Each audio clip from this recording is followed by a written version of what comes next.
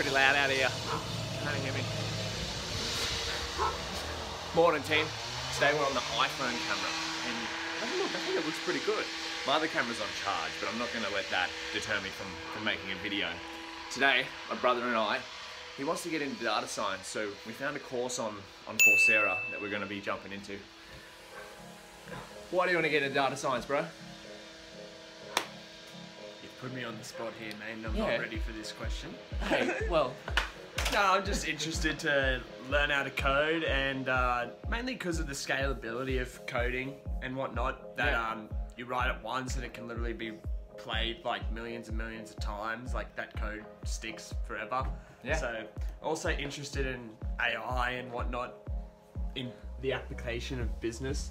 But this is the, the course. Course, Coursera, University of Michigan, Python fundamentals. You've been through a few videos here. just the introduction stuff. Now it's starting to actually get into the fundamentals. But um, yeah, got my got my tutor here. I my, my coding experience is pretty limited. It's uh, mainly the markup, so CSS and HTML, and a small amount of JavaScript in there. So seeing how Python goes. And Hey, puppy. puppy, walking in the background. So, are we going to set up a desk in here for me? What we're going to do, we're going to go through this course together over the next few weeks. It's an introduction to applied data science with Python. So I'm actually really excited to, to jump back into some fundamentals and see what it's like from, from the beginning. I've done a lot of deep learning, machine, deep learning and machine learning. So it'd be great to see what some fundamental data science principles are, which I think I need to work on. So we're going to jump into this, do module one. I think that's our goal for today. Finish module one, and we'll hitch up with what we learn, eh, bro? Yep. Could probably do multiple weeks.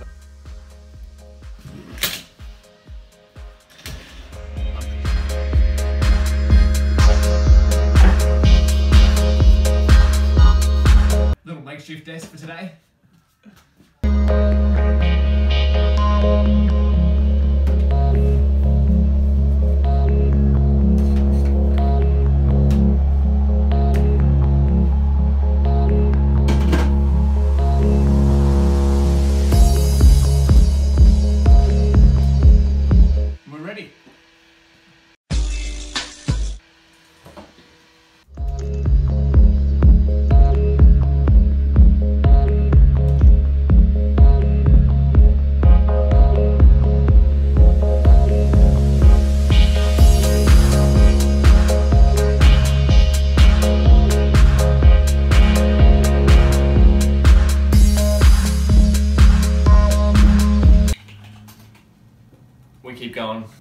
Finish week one. We'll uh, have a debrief at week end, end of week one. Sound like a plan? Well, when are you getting up to the quiz? Well, I'm gonna keep going until I'm at the end of week one, and then we'll have a debrief. Yeah? Yep.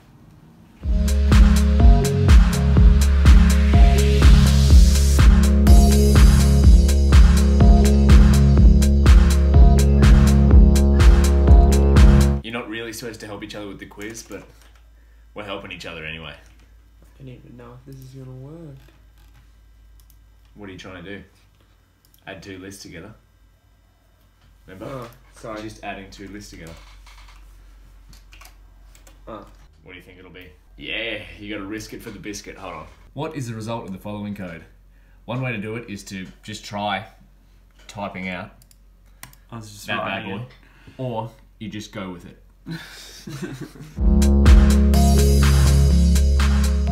I think it's either it's one of these lists, right? Yeah. Why? I'm just taking a stab in the dark because it's got multiplication in it. No. No comprehension. Yeah. I knew it, I knew it was a list. I just didn't know. I forgot what the Remember difference. square brackets you could think of the square looks like an L. So square bracket kind of looks like an L, so that's a list. Yeah, look, I don't think we are we obeyed by this, but that's all right. We can help each other out a little bit. Let's submit it, bro. This is your first Python quiz. How's it feel? Oh man, I, sh- I can't say I uh, did that easy. hey, it's pretty hard. I found it pretty hard too. Submit. What'd you get? Oh, you got one wrong. Which one was it? String. A string is String, String slicing. slicing. Oh no, it's a way to make a substring of a string in Python, so that'll be number C there. All right, week one done.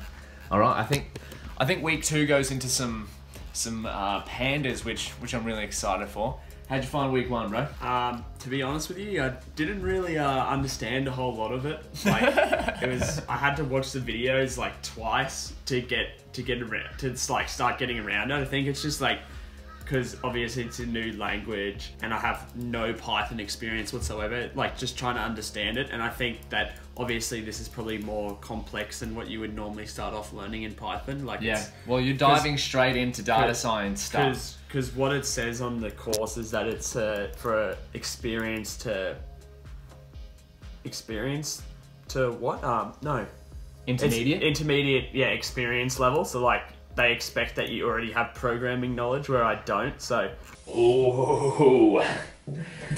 Look what I got. Little delivery.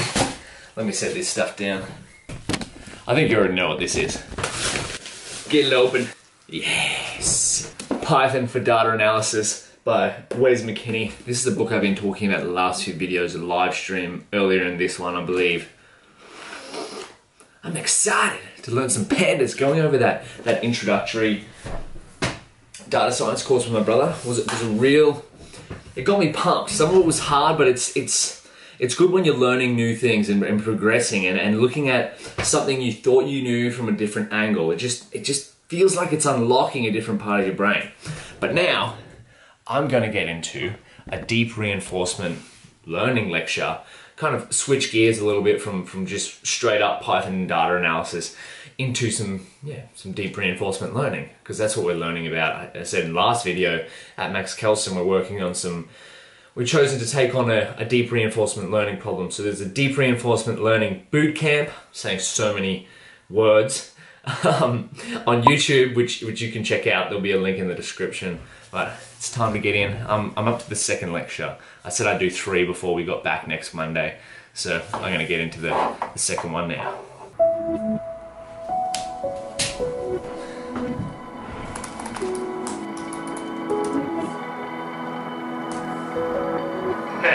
Uh, morning everyone. So I'm Rocky Duan uh, from Berkeley IIT staff, Private Research.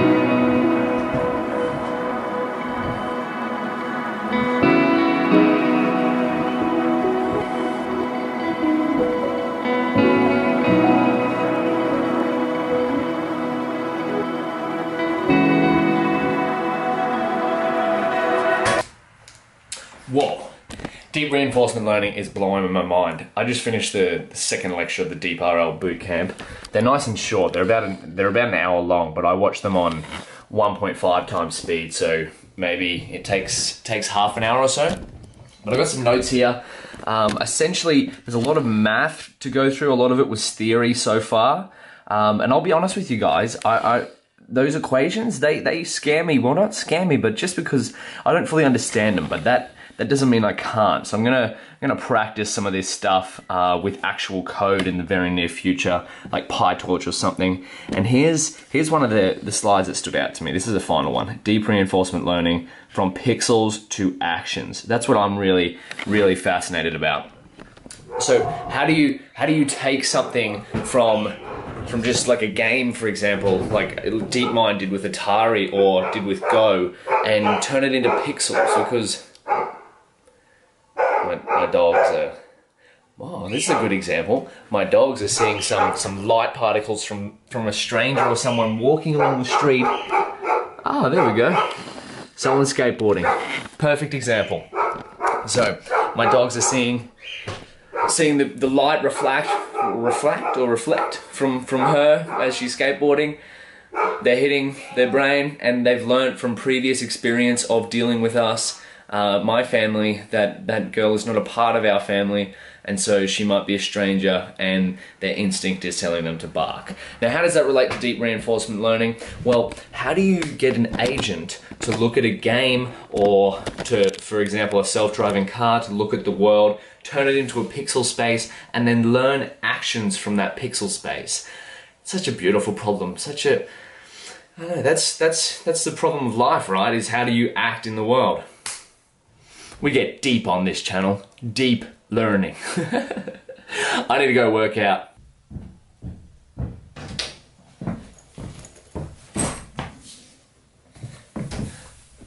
Want to see something funny?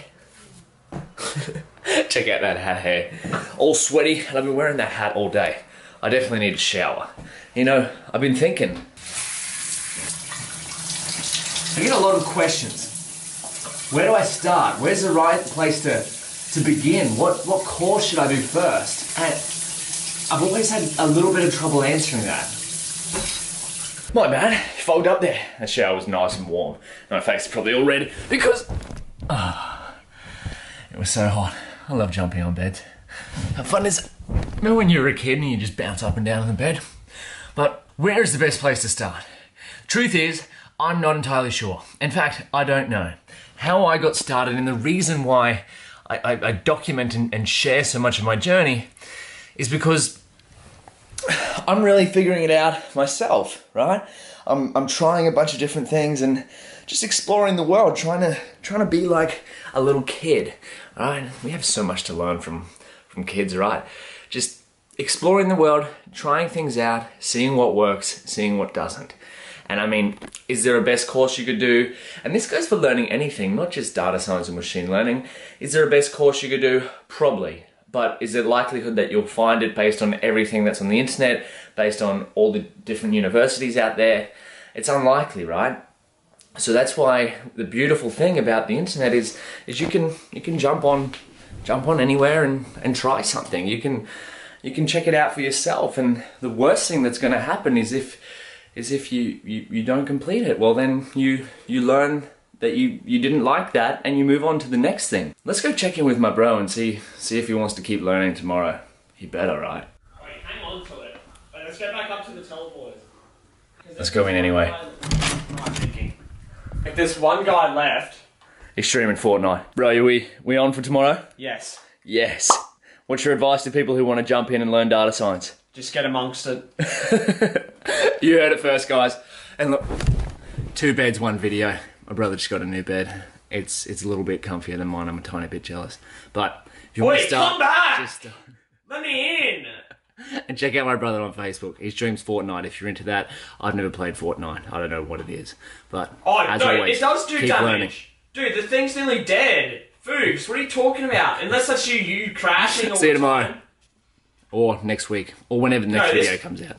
Something just come to me. I'm editing, I'm editing this video that that you're watching right now, and I realized I didn't quite say enough towards the end. Right? I said tr- just jump in and try something. I think that the other caveat to that is whenever you're trying something new, something you've never done before, you're going to suck, and sucking is hard. Right? If when you're when you're bad at something, it's hard to keep going. Right? What what do you do when it when it's hard to keep going? What other option do you have? You can give up, or you can keep going. Right? Just keep going. Remember those three words? Life goes on. Just keep going. You're gonna die. Three words, whichever three you want to pick to, to be your motivation. Right? But that's that's or here's my favorite one actually. Embrace the suck. Right? When you try something new, you're gonna be bad at it for a little while. I'm, I'm bad at most of the things I do, but I'm, I know I can continually improve step by step if I keep putting in the work. So if you're trying something new, if you're just jumping in, realize it'll be hard, there'll be times it'll suck, but just keep going. Keep learning. And this is this is definitely the final clip. Alright, we'll see you next week. You and me, everything that we've been through has made us strong. You won't believe we've had our way.